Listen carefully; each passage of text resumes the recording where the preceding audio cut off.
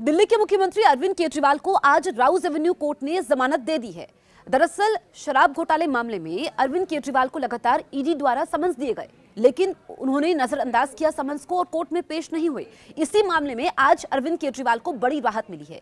ED अभी तक आठ समन्स केजरीवाल को दे चुकी थी, जिस पर वो पेश नहीं हुए, ऐसे में ईडी ने शिकायत दर्ज करवाई थी। दो शिकायतें थी।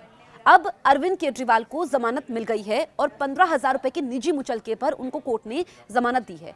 तो जो अरविंद केजरीवाल पर गिरफ्तारी की तलवार लटक रही थी, कहा जा सकता है कि अब उन्हें थोड़े समय के लिए राहत मिल गई है, क्योंकि मामले की अगली सुनवाई एक अप्रैल को होनी है। आप ये समझिए कि आज सुबह भी तस्वीर साफ़ नहीं थी कि अरविंद केजरीवाल क्या कोर्ट में पेश होंगे या नहीं होंगे। इससे पिछली बार जब अरविंद केजरीवाल वीडियो कॉन्फ्रेंसिंग के ज़रिए पेश हुए थे तो उन्होंने कहा था कि बजट सत्र चल रहा है विधानसभा में। ऐसे में उनको पेशी से छूट दी जाए तो सोलह मार्च की तारीख मुकर हुई थी, यानी कि आज की आज अरविंद केजरीवाल कोर्ट में पेश होते हैं। और जब वो पेश होते हैं, उस वक्त राउज एवेन्यू कोर्ट की सुरक्षा बढ़ाई गई थी।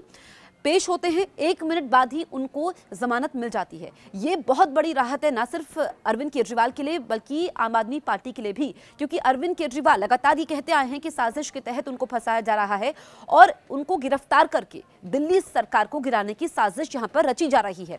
यही बात आम आदमी पार्टी के तमाम नेता करते आए थे। लेकिन आज आम चुनावों की तारीखों का ऐलान होना है। दोपहर तीन बजे के बाद तस्वीर साफ़ हो जाएगी। इसके साथ ही कई राज्यों में विधानसभा चुनाव भी होने हैं। उसका भी तारीखों का ऐलान होना है। उससे पहले अरविंद केजरीवाल के लिए बहुत बड़ी राहत है। अरविंद केजरीवाल हर बार ये कहते आए कि चुनाव नज़दीक है, ऐसे में उनको टारगेट किया जा रहा है और उनके पास बताने के लिए कुछ भी नहीं है। जो भी ईडी ने समझ दिए हैं, वो अपना जवाब दे चुके हैं। दूसरी तरफ़, ईडी ने कोर्ट में ये कहा था कि वो अरविंद केजरीवाल से पूछताछ करना चाहते हैं। उनके बयान लेना चाहते हैं कि जब शराब नीति बनाई गई थी, उससे पहले जितनी भी बैठकें हुई थी, जब रोड मैप पूरा तैयार किया गया था, रणनीति तैयार की गई थी, जो रिश्वतखोरी का मामला है, उसमें उनको केजरीवाल से जवाब लेना है, पूछताछ करनी है। अब इस मामले को लेकर के आप ये समझिए कि कोर्ट से जब अरविंद केजरीवाल के वकीलों ने कहा कि वो अब आज पेश हो गए हैं तो उनको जमानत मिल सकती है और कोर्ट ने उनको जमानत दे भी दी। लेकिन जो दिल्ली का ये आबकारी घोटाला मामला है, ये आम आदमी पार्टी के पास बन चुका है। हमने देखा कि मनीष सिसोदिया पहले से ही जेल में है।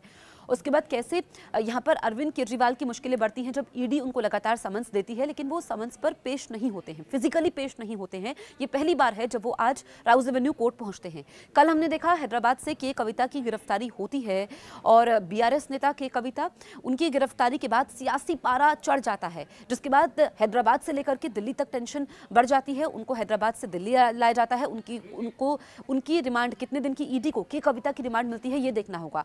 तो कल से लेकर के आज तक जो पूरी तस्वीर देखने को मिली है कि एक तरफ़ के कविता की गिरफ्तारी होती है, उनके घर पर छापेमारी होती है और उनके घर से मोबाइल फ़ोन बरामद होते हैं और ये भी आबकारी घोटाले मामले में ही होती है। जो दिल्ली का आबकारी घोटाला मामला है, इसमें ही के कविता की गिरफ्तारी होती है। लेकिन आज अरविंद केजरीवाल के लिए शनिवार का दिन राहत लेकर के आया है और ठीक पहले जब लोकसभा चुनावों की तारीखों का दोपहर में ऐलान होना है, उससे पहले आम आदमी पार्टी ने राहत की सांस ली है।